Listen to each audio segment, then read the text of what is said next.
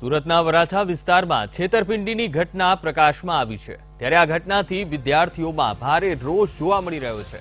Airport પર નોકરી અપાવવાની લાલચ આપીને એકસો પચાસથી વધારે વિદ્યાર્થીઓ સાથે લાખો રૂપિયાની છેતરપિંડી કરી અને લાખો રૂપિયા લઈને કંપની ફરાર થઈ છે.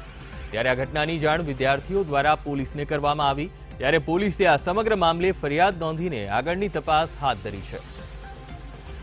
આ મુદ્દે સંવાદદાતા પ્રજ્ઞેશ વ્યાસ ફોનલાઈન પર જોડાઈ ગયા છે. જી પ્રજ્ઞેશ શું માહિતી મળી રહી છે?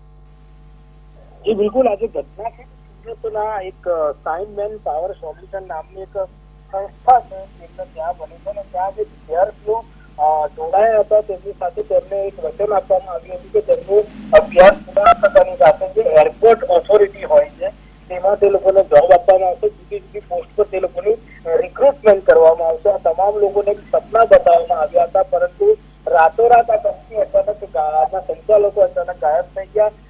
જેથી લોકોને ખબર પડતા એમની પોઈન્ટ વિસ્તારની એક અડાજણ વિસ્તારની એક ઓફિસ અને એક વરાછા વિસ્તારની મિની બજારની એક બ્રાન્ચના અધિકારીઓ યોગ્ય જવાબ નહીં આપતા અને કેટલાક લોકો ગાયબ થઈ જતા. તમામ વિદ્યાર્થીઓ આજે વરાછા પોલીસ સ્ટેશન ખાતે પહોંચ્યા હતા અને ત્યાં પોતાની ફરિયાદ દાખલ કરાવી હતી. જી, પ્રજ્ઞેશ, સમગ્ર માહિતી બદલ આભાર.